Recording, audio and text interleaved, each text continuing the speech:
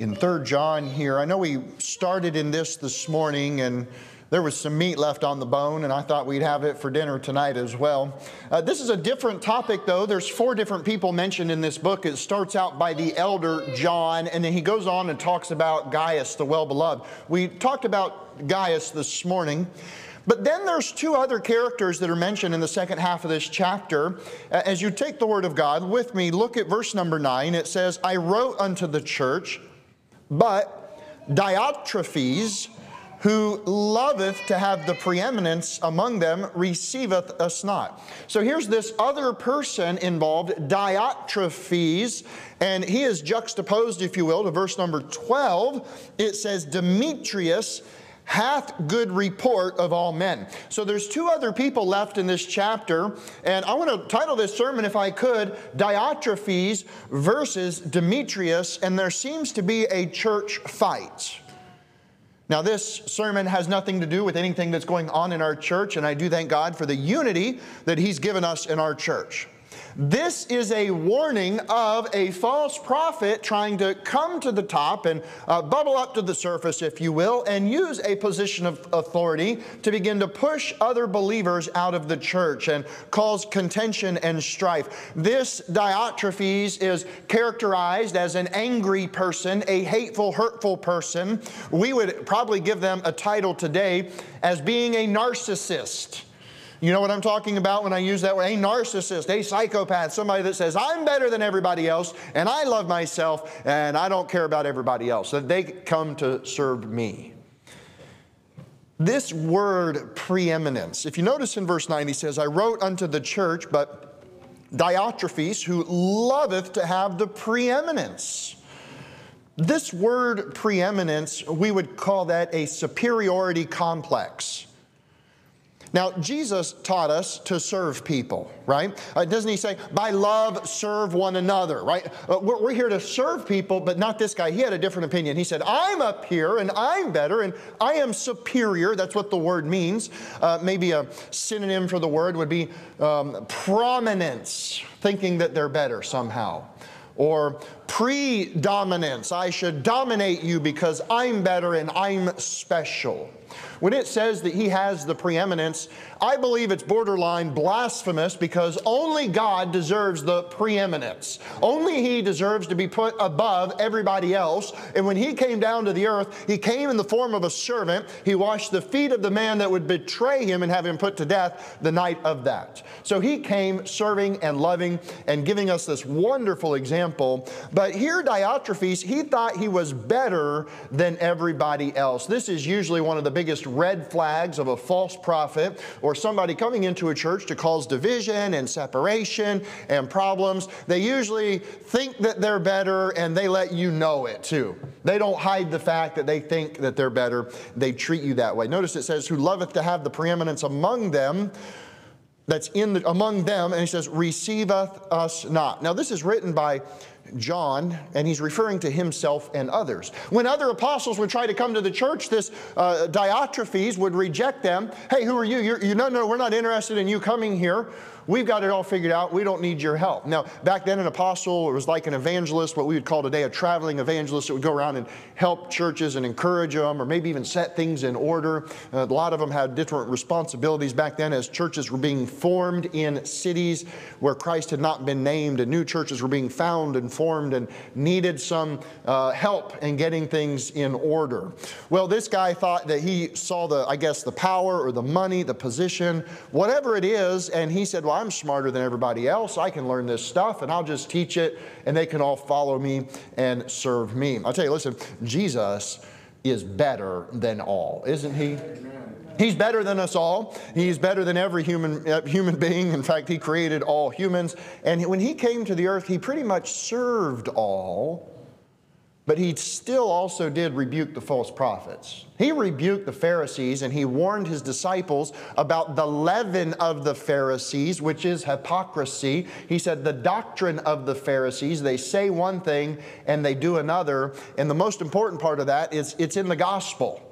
They say that you have to keep the law to go to heaven, and they don't even believe in God or in heaven. They were hypocrites in their heart, and Jesus was very angry with them. Notice that that first thing at the end of verse 9 it says, They receiveth us not. So they weren't letting people into the church because they were too proud. Verse 10 Wherefore, if I come, I will remember his deeds which he doeth, prating against us with malicious words and not content therewith, right? So he's playing these games and he's using very hurtful, harmful words. Uh, to be malicious is to, with an intent of hurting something or corrupting or causing problems. He was a hurtful, hateful, angry person, it says, and not content therewith. He wasn't satisfied. He wanted more. He wanted to take over everything.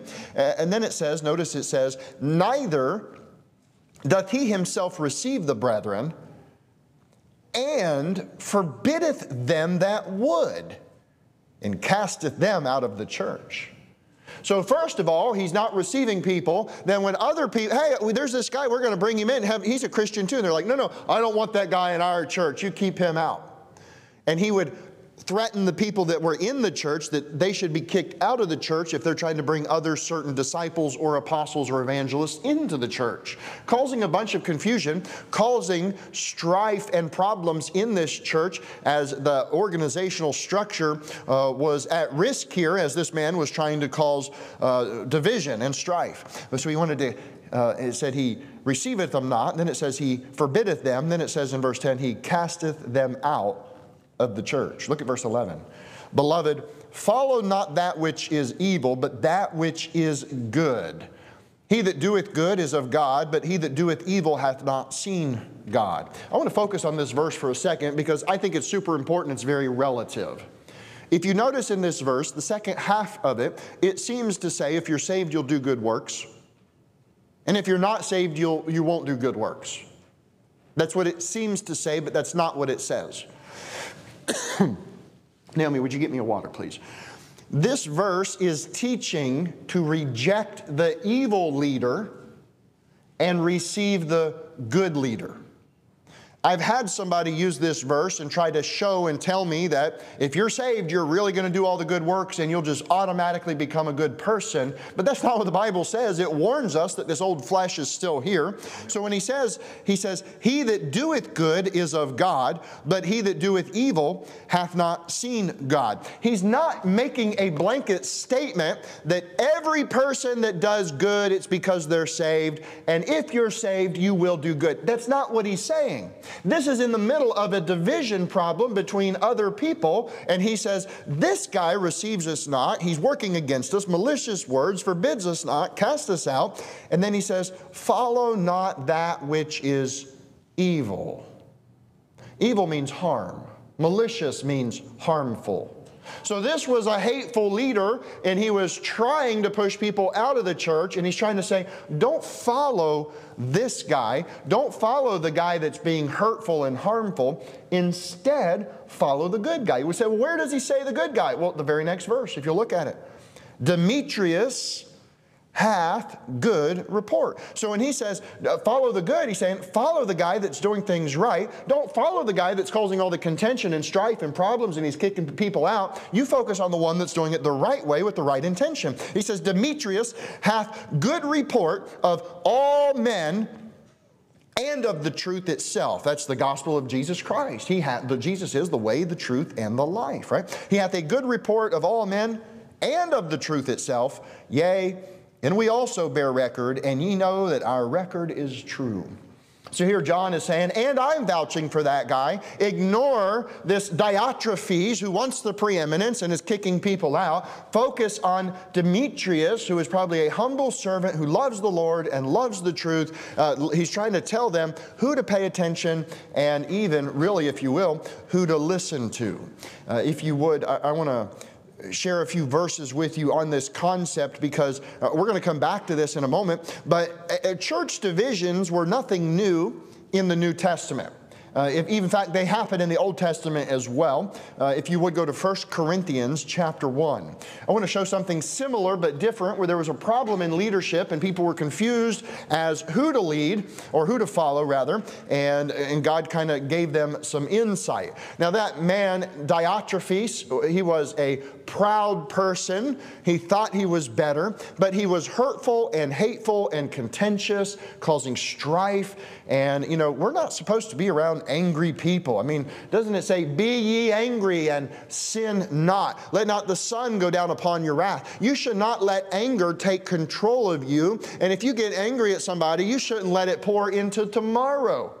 If you do, it goes on, it says you're giving place unto the devil. If you want to get angry with somebody and stay angry, you might as well open up the door to the devil and say, Well, come on in, devil, and do whatever you want, because I'm good and mad. And I don't care if I hate them right now, and I'm angry, and I just think I want my pound of flesh, right, or my ounce of blood, or whatever it is. You get so mad that you're seeing red and you're no longer walking in the Spirit. Now you're no longer filled with God's Holy Spirit and you're walking in the flesh. Church strife and contention is no thing, no new thing. In fact, uh, it's probably happened in every church I've ever been in. you know, from the time I've grown up, and you know, I thank God that He's delivered us of problems in the past in church with contention and strife. And uh, boy, God is good and merciful, and He gives us an example that we should not allow anger and pride to rule the church. That's not his will. In fact, he tells us in Proverbs 22, he says, Make no friendship with an angry man. Why? Lest you learn his ways. You want to hang out with an angry guy, then you'll become an angry guy. You want to let him in your head, it'll get down in your heart, and it'll come out of your mouth, and you'll say the stuff that he says and the way that he says it, and you'll lose your care and your love for others. This is very important. In fact, you think of Saul, King Saul in the Old Testament a man that was filled with God's Holy Spirit, and so much so that when he prophesied, they said, Saul is among the prophets. And then later he was so angry at David that he's throwing a javelin at him. It says that he prophesied of an evil spirit in his house. I really believe that every Christian has that ability. You're filled with the Holy Spirit, you get good and mad, and you let the devil take place in your heart, you can preach, prophesy, teach things out of hatred towards somebody else. You can let the devil have that much room in your heart. Very dangerous warning.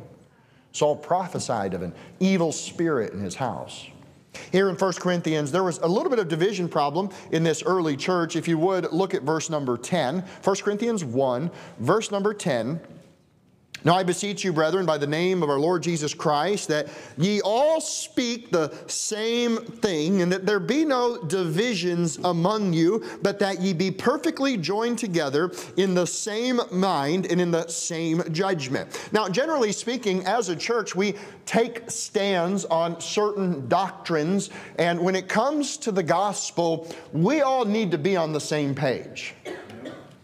When it comes to the Word of God, we all need to be on the same page. There are some other doctrines that I think the Lord allows us to be a little bit different, and we can be in fellowship, and it's not a contentious problem. The Lord's Supper is something that there's a doctrine for praying for one another. There's a doctrine for that. We should teach that and keep that. Baptism after salvation, we should all be in unity on that. You shouldn't come to me and say, I, I want to get saved. Will you put me under the water? I'd say, no, no, no, no. We don't do it that way around here. We're in unity on this doctrine. That's what we all believe.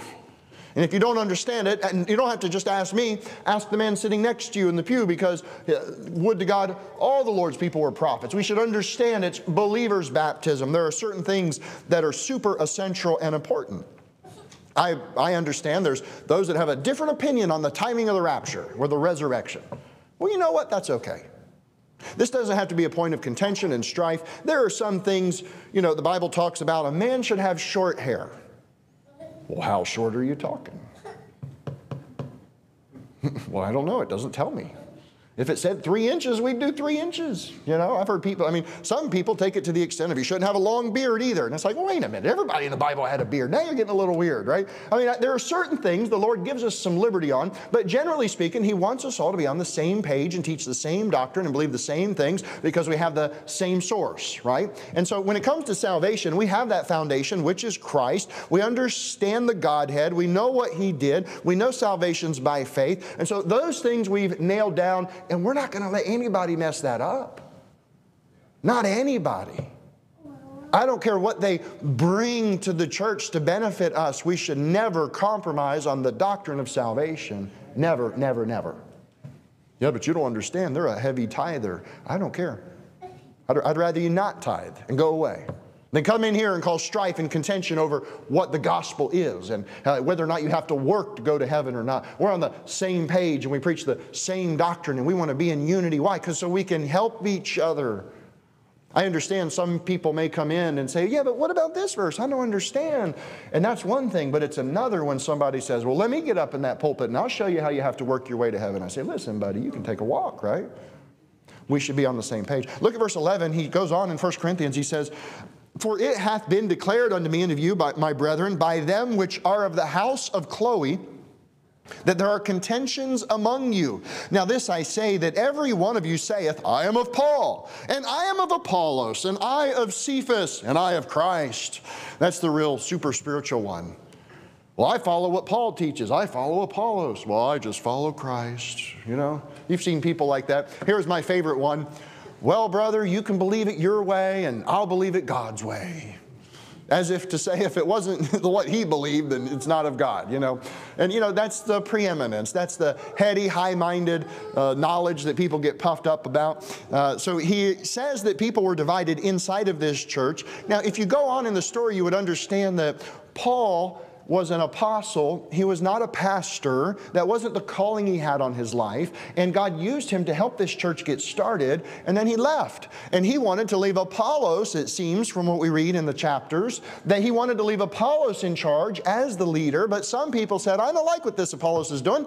I want to go back to what Paul said. And it's like, well, Paul and Apollos really preach the same thing. So why are you causing strife and contention? Notice he says in verse 13, is Christ divided? Was Paul crucified for you? Or were you baptized in the name of Paul? Now Paul's really kind of getting at him. He's getting under their skin. What, did I die for you? I don't think so. Was, was I crucified for you? I don't think so. So if you think you're going to follow me instead of the pastor that's in charge of the church, you got a problem, buddy. You need to follow the order that's in there and not try to put me higher than you ought to and just, we're all, we all follow the Lord. But, you know, uh, Paul said it elsewhere. He said, follow me as I follow Christ. And in the simplest form, that's my instructions here to the church. Follow me when I'm doing the, what I'm supposed to do according to the Bible. But if I fail, God forbid, if I fail as a man and I do something that goes against the Bible, don't follow me in that. You follow the Bible, you follow Christ. And so Paul was make, even making that point. You only follow me when I'm doing what's right, because even Paul had sins. He was still a sinner. Look at verse 17. It says, For Christ sent me not to baptize, but to preach the gospel, not with wisdom of words, lest the cross of Christ should be made of none effect. People are confused about the gospel. They think that you have to be saved and baptized to go to heaven, but that's not what the Bible says. Here he says, I, I was not sent to baptize you, I was sent to get you saved. Now, the Great Commission certainly includes those instructions that after they get saved, then they should get baptized in the name of the Father, the Son, and the Holy Spirit. Amen. Acts 8 makes it real clear. After you get saved and you believe that Jesus is the Christ, the Son of God, then you should get baptized. But Paul's making this big deal like, listen, my gifts are evangelism and preaching the gospel and getting people saved. And uh, Christ sent me to do that number one Baptism takes a back seat to everything else. So let's not get baptism confused because that's what we're happening. Some people are saying, well, the, the Jewish customs matter. Or no, baptism is part of salvation. And so he's trying to straighten things out from outside of town with this letter. And he makes it real clear. Uh, he even says in verse uh, 15 and 16 that, you know, I, I baptized, uh, he says, lest I should say that I have baptized in mine own name. He said, I'm not even boasting. I didn't want to baptize people. I didn't come to baptize people. I'm more worried about getting them saved. And that ought to be the goal of every church is to get them saved first. And then, well, yeah, we're Baptists, so we want to get them baptized too once we know that they're saved. That also is the goal. Go to chapter 3 real quick. I didn't want to spend a lot of time in 1 Corinthians, but this was an issue that you see. If you're reading through your daily reading, when you get to Corinthians, you'll see what I'm talking about with this, that it seems they begin to have these contentions and problems and strife and confusion. And Paul's trying to set it all in order, and he's going to say, uh, just follow the leader and you'll be okay. Don't say, don't say you're following me when I'm not there, and you know, don't subvert the authority structure that God has. Most false prophets tried to do that like this Diotrephes, he was such an angry man and he hated the people in the church that he was using them and devouring them and manipulating them because he wanted power, control, and money. In 1 Corinthians chapter 3, look at verse number 3. For ye are yet carnal. That means you're baby Christians. You're still fleshly. He says, Ye are yet carnal. For whereas there is among you envying and strife and divisions, are ye not carnal and walk as men? For while one saith, I am of Paul, and another, I am of Apollos, are you not carnal? Guys, you know we're not supposed to call ourselves by another man's name. We're called by the name of Christ. Even in the Old Testament, they were called by God's name Israel. If my people, which are called by my name, and the name was Israel. That was a representation. And hey, we're the same way. We're supposed to be called by the name of Jesus Christ. That's what we're identified as, as Jesus Christ. Like we're supposed to be following Christ, disciples of Christ, Christians. Look, he says, you're still carnal. Verse 4. Look at verse number five, he says, Who is Paul and who is Apollos, but ministers by whom ye believed, even as the Lord gave to every man. That's a really good verse to teach that people need people to get saved. I'm not saying I'm taking any credit for somebody else's salvation, but I am saying we've been commanded to preach the gospel. And he says here that we have ministers, that's servants, that help us get saved. He says, But ministers by whom ye believed, even as the Lord gave to every man. Look at verse 6. I have planted, Apollos watered, but God gave the increase. So then neither is he that planteth anything, neither he that watereth, but God that giveth the increase. So again, he's going back to, I can't take credit for anything. God deserves all the glory. Even in my own salvation, the person that preached the gospel to me, it's not about them. It's about the gospel. It's about Jesus. Now, we as people are called to do that and to fill that void. And when we go out and we talk to others about Jesus, we're either planting a seed for the first time in the soil when we give them the seed, which is the Word of God, or we begin to water a seed that's already there, and that water may, that seed may begin to spring forth and increase as God works in their heart as we give them the Word of God. Look at the next chapter. Look at 1 Corinthians 4. Look at verse number 1.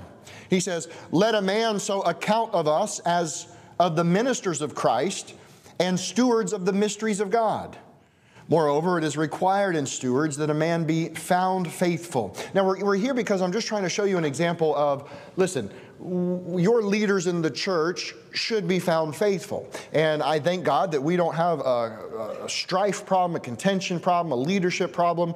Um, I'm thankful for what the Lord has given us in unity. And so this isn't really a sermon about us in a sense, but it's like a maintenance sermon. Like, um, and I know we have some visitors with us tonight. When maybe in your church you're dealing with something where one guy wants to do it one way and another guy wants to do it another way. And listen, we need to do it God's way. We need to do it the Bible way. And we need to follow the humble people, not those that are puffed up and proud and desiring the preeminence, trying to accomplish something great for themselves. He says in verse 2 Moreover, it is required in stewards that a man be found faithful. This is the characteristic we look for.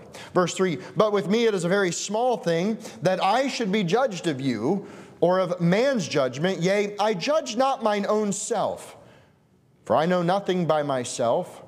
Yet I am not hereby justified, but he that judgeth me is the Lord. So they even started judging Paul. Well, Paul did this, and he's like, listen, you can take it up with the Lord. Verse 5 Therefore, judge nothing before the time until the Lord come, who both will bring to light the hidden things of darkness and will make manifest the counsels of the hearts, and then shall every man have praise of God. Verse 6 And these things, brethren, I have in a figure transferred to myself and to Apollos. So he's saying, listen, listen to this man. He has authority in the church for your sakes, that ye might learn in us not to think of men above that which is written, that no one of you should be puffed up one for one against another. So we shouldn't have our favorites, and I, I wish that guy would take that guy, you know, because it's almost like they're wanting this fight in the church.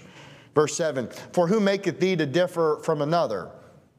What hast thou that thou didst not receive? I love this statement. Uh, you know why you're different than me? Because God made you different.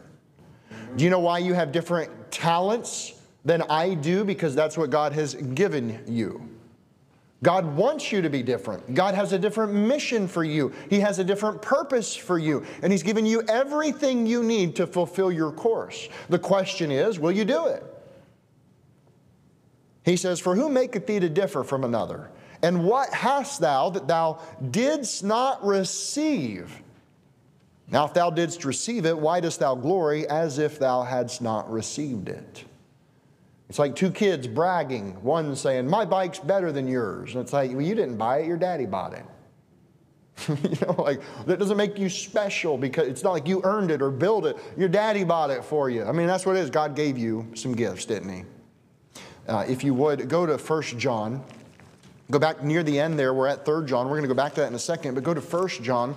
I want to share this with you because this Diotrephes hated the brethren. He rejected them. He didn't receive them. He cast them out. He was malicious toward them. Anybody that supported them, he hated them and kicked them out. And he all along was the false prophet. He was the one that was the problem. He was the one that needed to be kicked out and removed, needed some order in that church, and he was butting heads with the leadership that was there. In 1 John, if you will, go to uh, verse chapter number 2, 1 John 2. And when you get there, find verse number 9.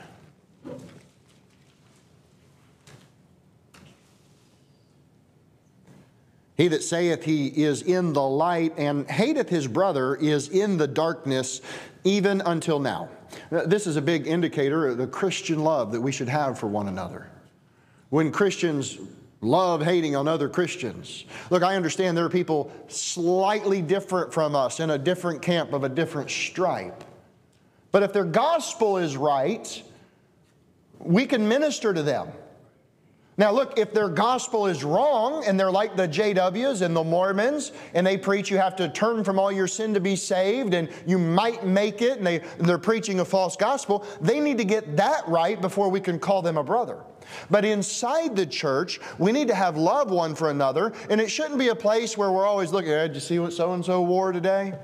Oh, do you see? They didn't come, but I'm here. Ho, ho, look at me. I'm better than that. That's wanting the preeminence. And the problem is we have that nature in our natural man, in our flesh. We desire to feel good about ourselves because we're doing better than our neighbor. Instead, we need to love somebody. And I often tell somebody if you see their problem, maybe God's revealing it to you so that you can pray for them and help them grow instead of criticizing them and tearing them down and gossiping about them and wishing harm on them. If you can notice it, well, then good. Pray for it. Put it at the top of your prayer list. I had somebody reach out this past week where they have some strife going on, and they asked me a question. They said, What do you do when somebody's going around the church spreading gossip about your family, your wife, and your children? What do you do about that? I thought, Oh my, this is a big issue.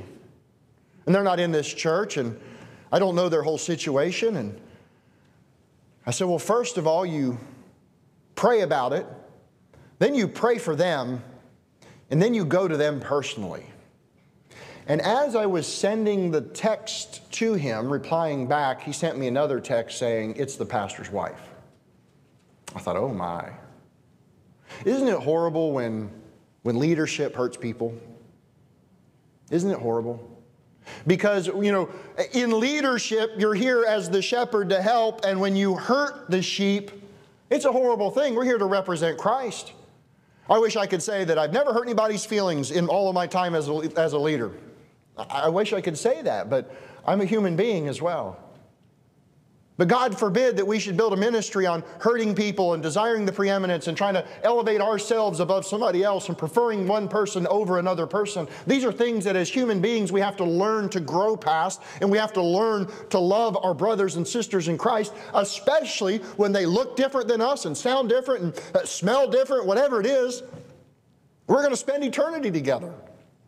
We should learn to love each other now. This is a big indicator of somebody that's moving in the wrong direction. Look at verse 10. You're in 1 John 1. I'm sorry, 2. 1 John 2. Verse 10, he that loveth his brother abideth in the light. That's your choice. Hey, I want to walk in the light with Christ. I want to, I want to be filled with the Holy Spirit. Well, yeah, well then love your brother. If you can't love your brother, instead you're trying to tear them down and point out all their shortcomings and hurt them and hate them, well, you're being like the bad guys, and you don't want to do that.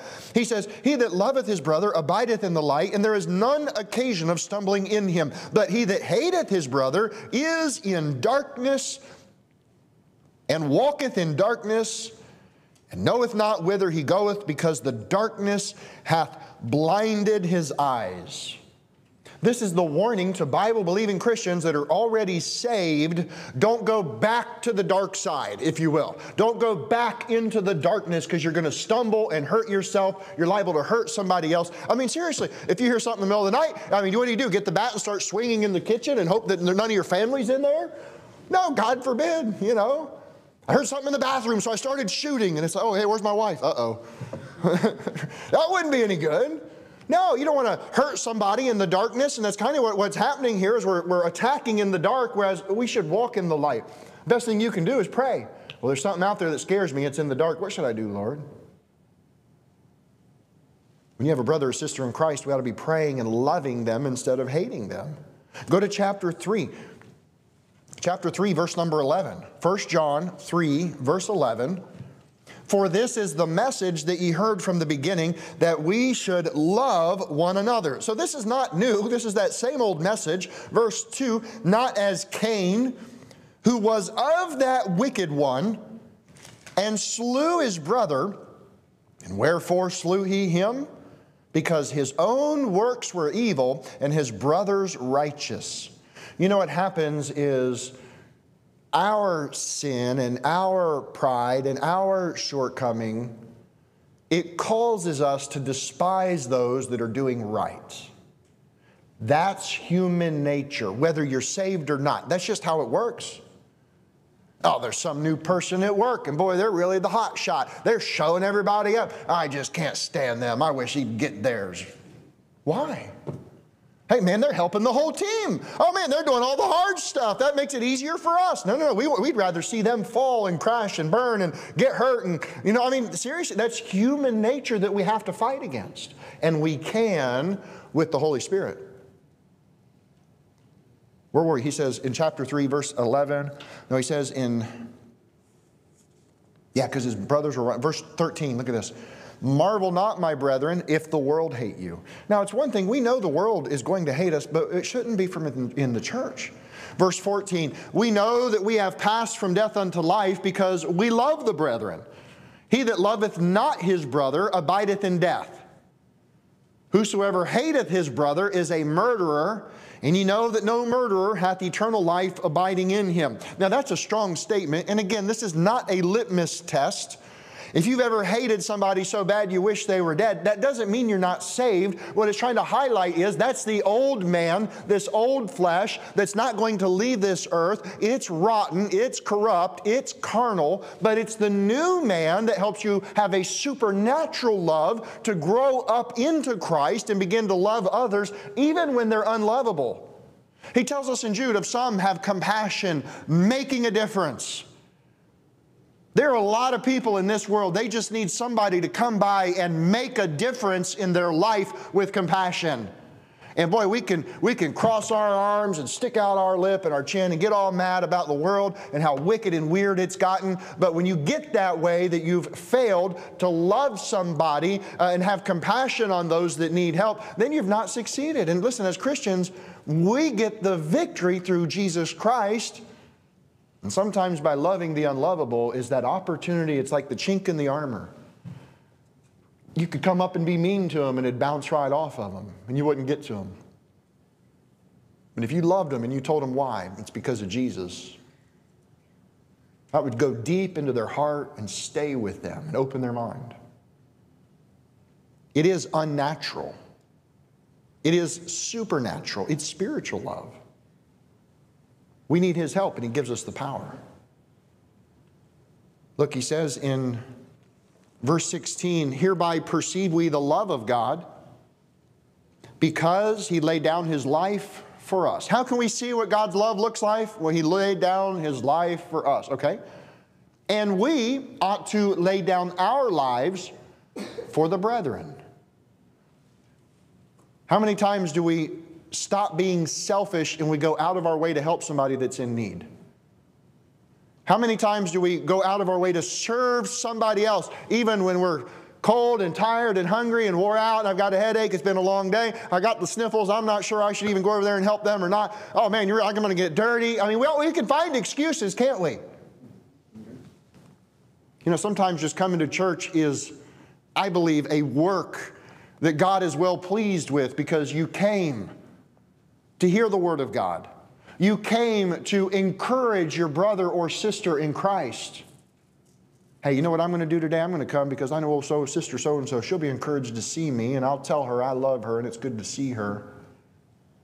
God looks down and He rewards you with joy.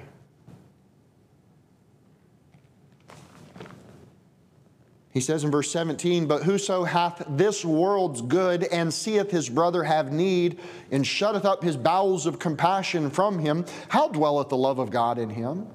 When you see your brother has a, a, great big need and you can solve it, you can fix it, it's no skin off your back. Hey, whatever you have, God gave it to you. Maybe sharing it with a brother or sister in Christ would give God the glory. And you say, Well, I don't want to do that. I don't know. They might, they might bring it back. It might be chipped or dinged up or something. It might not look as nice as when I gave it to them. Who cares? God gave it to you.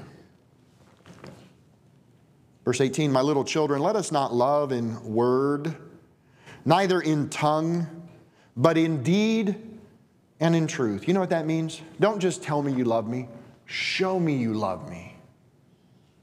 One of the greatest things in the marriage relationship is not to tell your spouse that you love them, but it's when they feel that you do love them.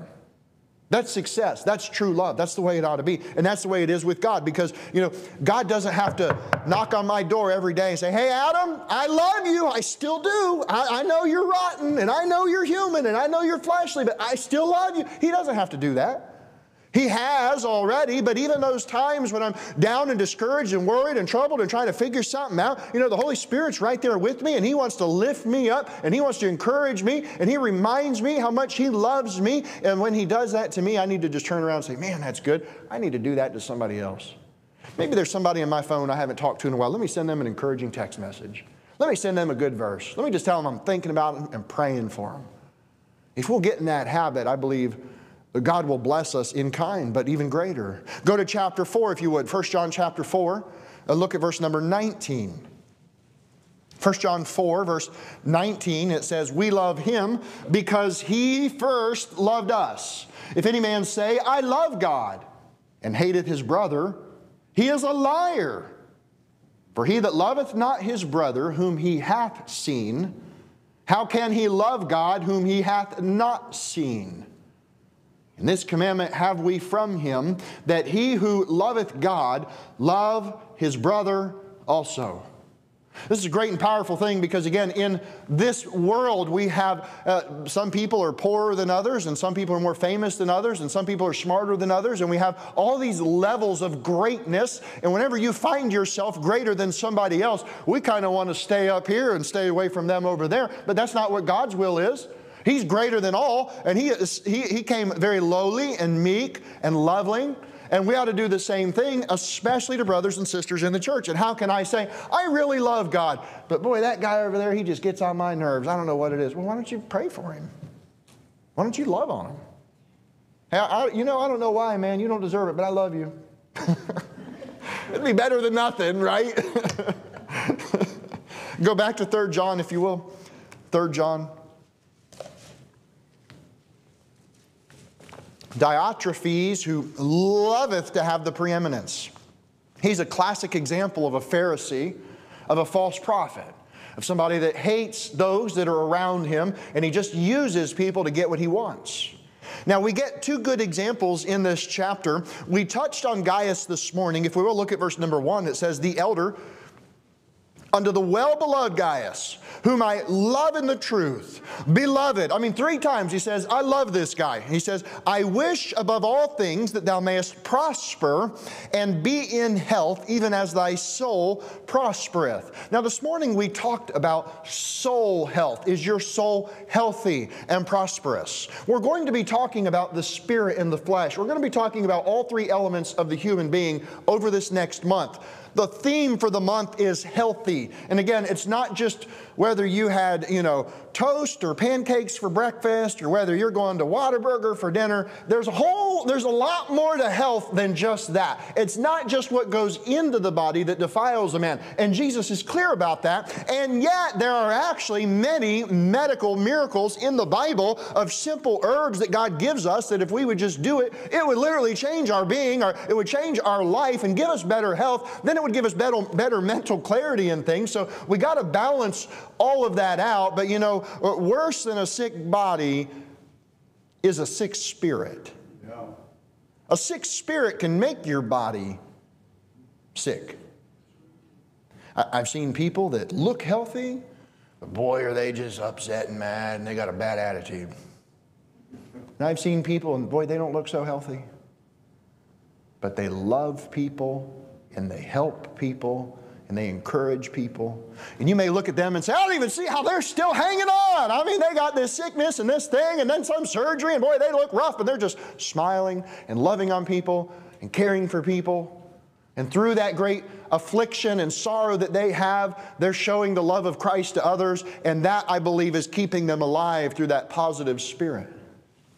Uh, continue with you in, in 3 John, he says, uh, I love it. I wish above all things that thou mayest prosper and be in health, even as thy soul prospereth. For I rejoice greatly when the brethren came and testified of the truth that is in thee, even as thou walkest in the truth. That man had soul prosperity because he was saved, but then he was doing what the Bible said. He was walking in the truth. And notice in verse 4, he says, I have no greater joy than to hear that my children walk in truth. Isn't that something? He's saying, hey, once you're saved and I hear you begin to walk in the truth and get closer to God, I get more excited about that than anything else. I mean, John really was super happy that he could say, not only did they get saved, but now they got the Bible in their heart and they're growing in their understanding of the Bible and they're doing what it says. And because of that, God is blessing them and giving them prosperity and health. He says in verse 5, Beloved, Thou dost faithfully whatsoever thou doest unto the brethren and to strangers. Now, what he's, he's about to tell us, he's talking about charity,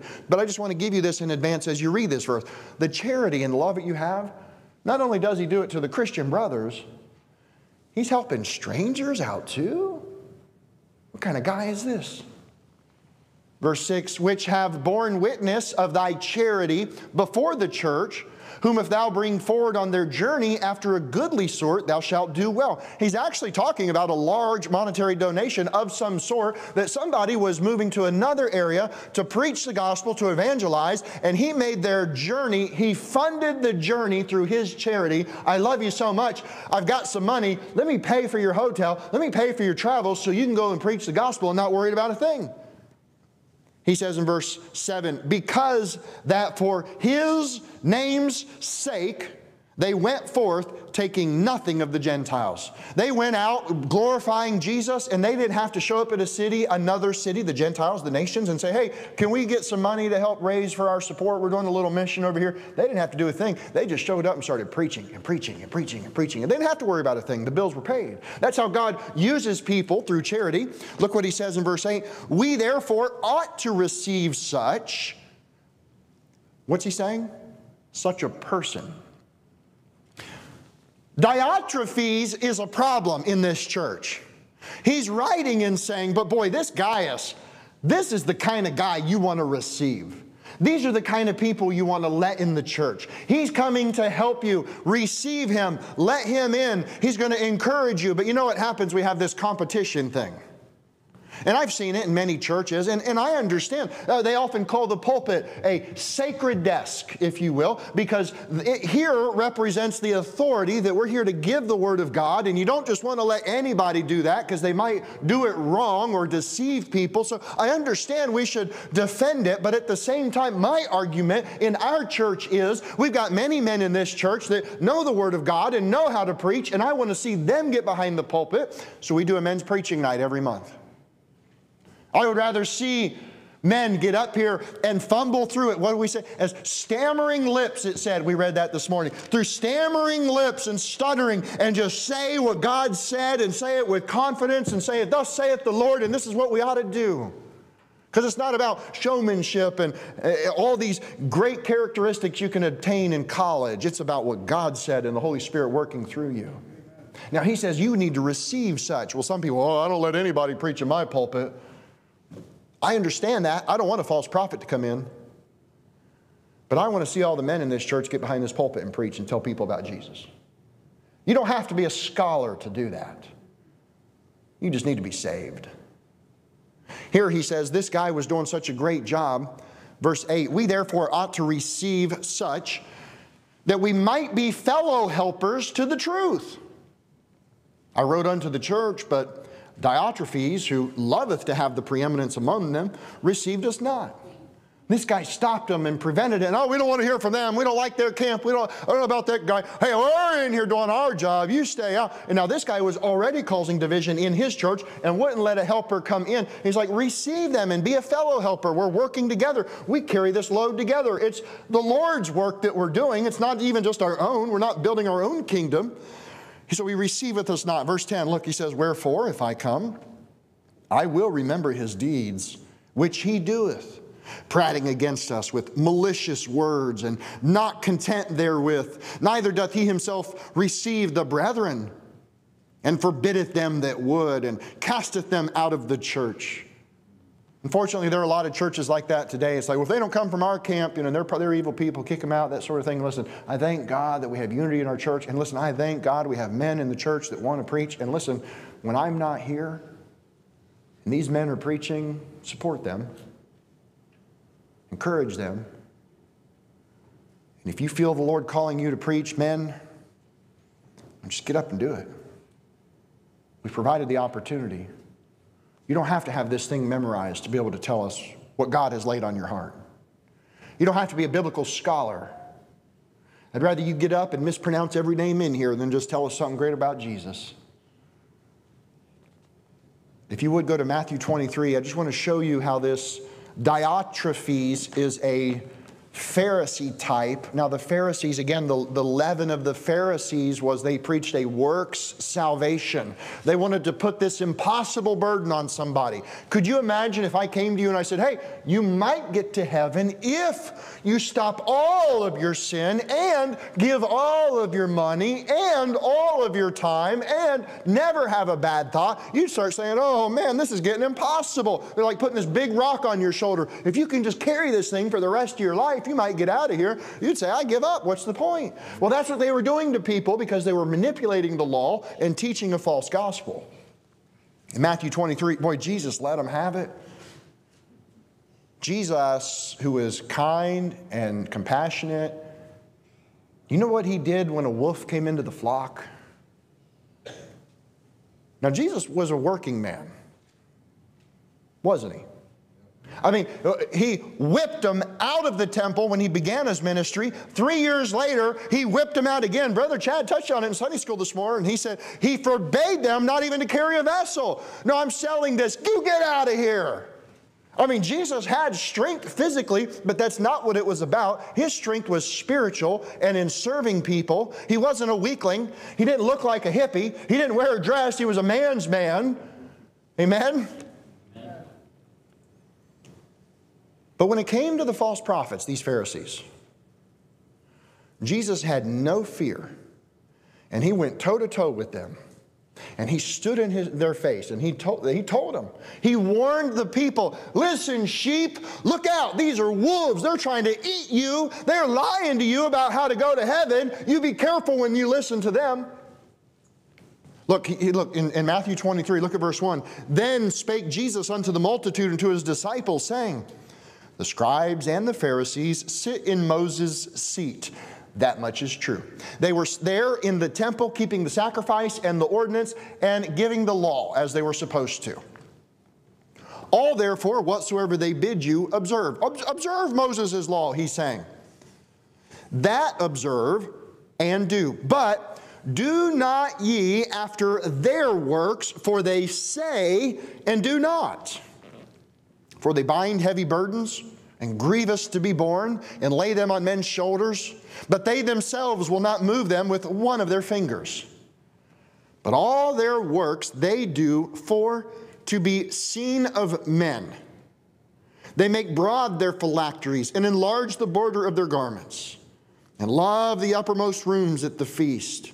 Doesn't this sound familiar? Do you remember what we just read about Diotrephes, who loveth to have the preeminence?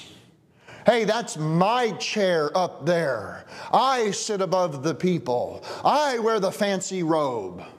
Look, you can come into church wearing whatever you want. I mean, as long as it's modest and decent. But you know, you don't have. You can wear a t-shirt and jeans or shorts and flip-flops. That's okay. I dress up because I want to bring my best to the house of the Lord. If you show up in, you know, uh, flip flops and shorts, I'm not going to run you out of here. God forbid I would reject your appearance and you lose an opportunity to be blessed by the Word of God or to worship God. God forbid we would have that attitude, right? But, you know, I mean, I, I wear a, a suit and a tie just because, hey, that's what I wore last time I got a job. I put on a suit and a tie and I went in there and I said, yes, sir. And I had respect. And well, they're like, yes, sir, well, you're sharp. I want you to start. When, how soon can you start? All right, I mean, if I'll do it for work, I should do it for the Lord's work. Amen. That's just how I feel personally. I mean, if I showed up and I didn't have a tie, it wouldn't be the end of the world. But they made it a thing where we have the holy garments and we have the vestments and we are the upper crust, right? Verse 6 And love the uppermost rooms at the feast, and the chief seats in the synagogues, and greetings in the marketplace to be called of men, Rabbi, Rabbi. But be not called Rabbi, for one is your master, even Christ, and all ye are brethren. You know, you don't have to call me Pastor Fannin. You don't. You can call me Brother Adam. You, can, if you just slipped up and said, Hey, Fannin, I'd be okay with that. I had a pastor, a great pastor years ago, and I called him by his first name and he asked me, he said, Brother, just out of, do you mind helping me as I'm teaching the children to respect their elders? Would you, you don't have to call me pastor, but would you at least call me Brother Gary? And boy, it broke my heart. I said, no, you're, yes, sir, you're right. Amen, I should. Right? Doesn't it tell us at the end of the chapter we read earlier to greet them by name? We should salute those. Sister Sylvia. She's not just any old Sylvia. Hey, there's 10 Sylvias in town, but there's only one Sister Sylvia, and she's my sister forever in Christ. Right? These terms mean something. It's not just, you know, we're in a club. But here they're using them Oh, hey, uh, I noticed you wrote me a letter and you didn't put Pastor Fannin on there. You need to correct that and call me by my title. I don't care about the title. I'm thankful to do the work because really the title is supposed to be minister, which means servant of all. You could come up and say, hey, slave. And I'd say, well, yes, sir. How can I help you? You know, I mean, I should, right? We shouldn't get all upset about what we are. We're all really just slaves if you, if you haven't figured that one out yet. But anyway, look, so he says, don't be called master. Don't be called rabbi. He says, verse 9, and call no man your father upon the earth, for one is your father which is in heaven. Tell that to the Catholics. Neither be ye called masters, for one is your master, even Christ.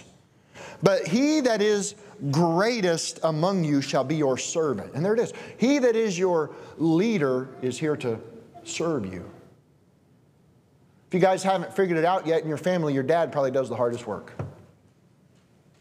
And you know, it is good to honor your father and respect him at dinner and maybe feed him first, or uh, hey, children, help dad first, or something to show him respect because frankly, he gets up early and he goes out and he worries about you and he's trying to make sure that you're going to get everything you need so that you can get off and have a great life. I mean, he's working double time to make sure that you have what you need. Uh, of course, we should respect our parents. Here it's the same way in the church. And listen, but he, said, he says, He that is greatest among you shall be your servant. Hey, you want to be in church leadership? You think you want, you're, you're called to ministry? Then get ready to serve people. Get ready to love people because that's what we're called to do. Verse 12, and whosoever shall exalt himself shall be abased, and he that shall humble himself shall be exalted. This is the Diotrephes, Demetrius parallel. The one guy was just super low key, very little said about him, but he was right and he was loving and he was kind in the church and used of God. Diotrephes, loving the preeminence, loving the highest seat, wanting all the, all the flame and the name and the give me, give me whatever I can get. Here the Bible teaches if you will humble yourself and serve others, that God will take care of you in a great way.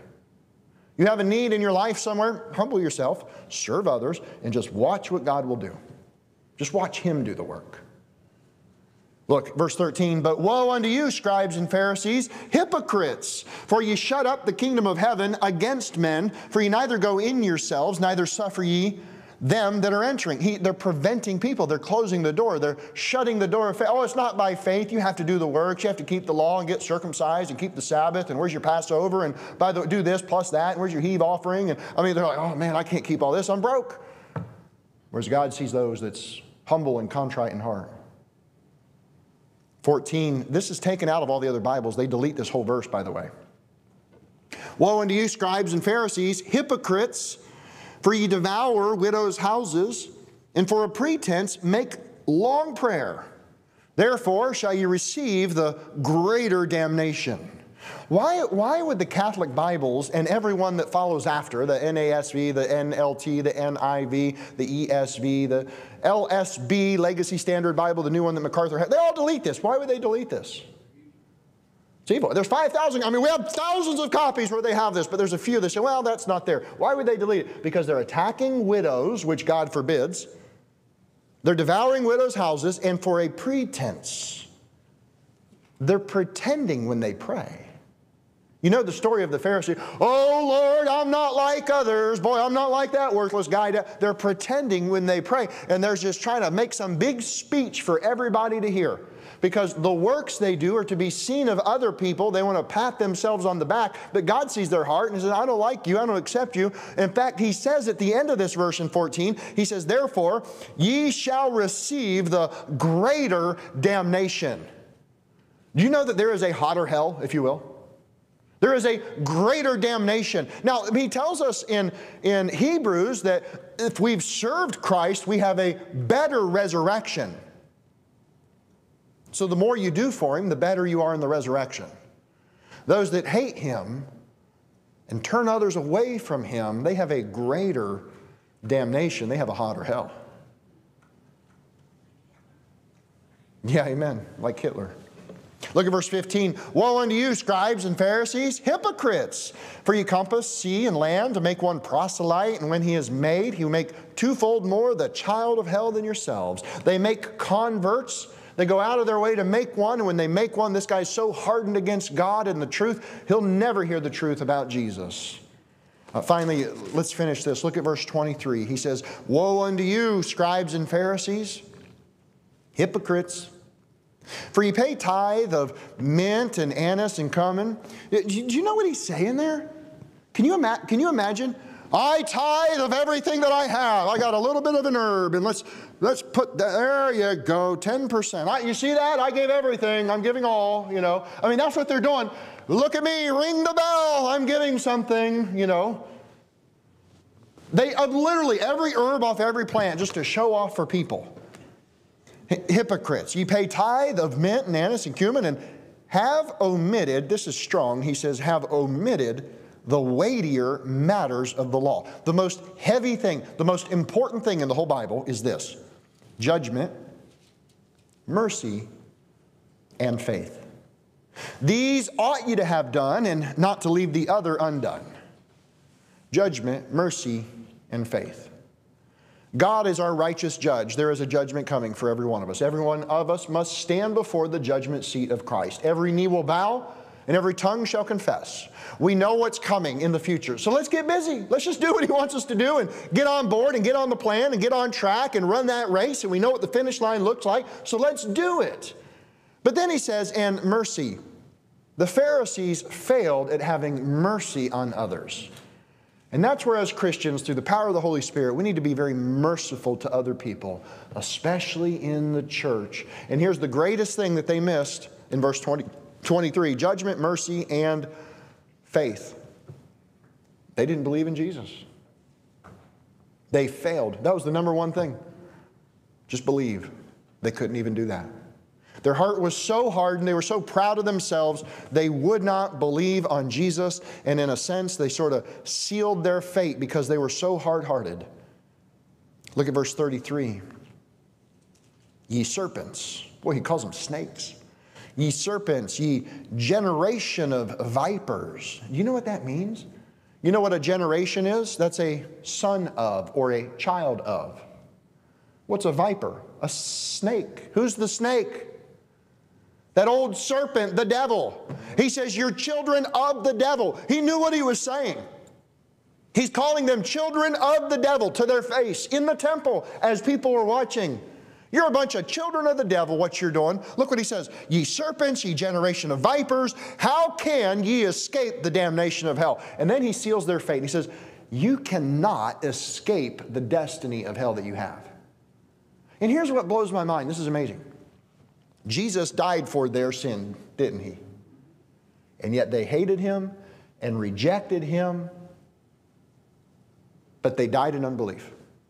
Because they would not believe in his payment for their sin, even after they saw the miracles, even after they saw the resurrection, they still hated him and they still didn't believe. And he knew that they wouldn't believe, and that's why he said, How can ye escape the damnation of hell? Not only do you have a hotter hell, a greater damnation. You've sealed your fate. You've seared your conscience, and now you're a son of the devil. You can never be a son of God because you hate God and His Son, and now you're on your way to hell already. And while you're here, you're trying to take as many people with you as you can and make them a child of hell. That's the false prophets of the world. The Pharisees today are found in many religious organizations and groups. It's those that are real heady and high minded, and they're all about having the college degree. And frankly, a lot of Calvinists would fall in this category. Judaism today, there are many different branches of Judaism, but very specifically, rabbinical Judaism claims to be the Pharisees of Jesus' time. That's their own claim. They say, yeah, we're the ones that put Jesus to death. We're rabbinical Judaism. We read out of the Babylonian Talmud. Now, listen, th- that's a wicked religion. Some of them have this same heart. Some can be saved. I mean, some of the Pharisees were saved. If you will, look at verse 37. O Jerusalem, Jerusalem, thou that killest the prophets and stonest them which are sent unto thee, how often would I have gathered thy children together, even as a hen gathered her chickens under her wings, and ye would not? Behold, your house is left unto you desolate. For I say unto you, ye shall not see me henceforth, till ye shall say, Blessed is he that cometh in the name of the Lord. It all goes back to their heart. They sealed their fate. They would not believe on Jesus. That Demetrius, or I'm sorry, Diotrephes, that was fighting against Demetrius and would not let Gaius into the church. What a picture of a church that was struggling and help was on the way and he was pushing them out and pushing believers out. And it's a classic case of he was a Pharisee. I've got the college degree and I decide what's going on. Listen, the church is the people, the congregation. And I'm thankful for the Holy Spirit that's in every one of you. And together we work together and we serve each other as we serve Christ for what time we have here. In John 13 35, he says, By this shall all men know that you're my disciples if you have love one to another. I quote that verse often, not because I think you need to work on it, but because I think I need to work on it. I think we need to work on it. And the definition, the illustration I give with it is how will people know about Christ? By this shall all men know that ye are my disciples if ye have love one to another. Those people out there look at us in here, how we treat each other in here, and it determines how close we are to Him up there. That's their whole opinion. Why would I want to go to a church like that? All they do is talk bad about each other and try to hurt each other. I'm, I'm sure I got enough of that in my life. I've got that at work. I don't want it on Sunday. right? God forbid. I do thank God for just the pleasant spirit and the unity in our church the liberty and the freedom to be a little bit different in certain nuances of our doctrine, but we stand as one on the foundation of Christ and the Godhead and the Bible and salvation and the things that matter the most and, and love. And I thank God for the love in our church. I love you for loving Him. And let's love some other folks and invite them in. Let's pray. Dear Heavenly Father, I love you so much. I just ask that you would help us to understand these verses, that it might change us and help us to see how we can get closer to you. Lord, I do pray that you would continue to use this church as an opportunity to reach others and to reach the lost. Lord, I pray that you would raise up a generation of children out of here that would be preachers for you, that would see many souls saved. I humbly ask this in Jesus' name. Amen.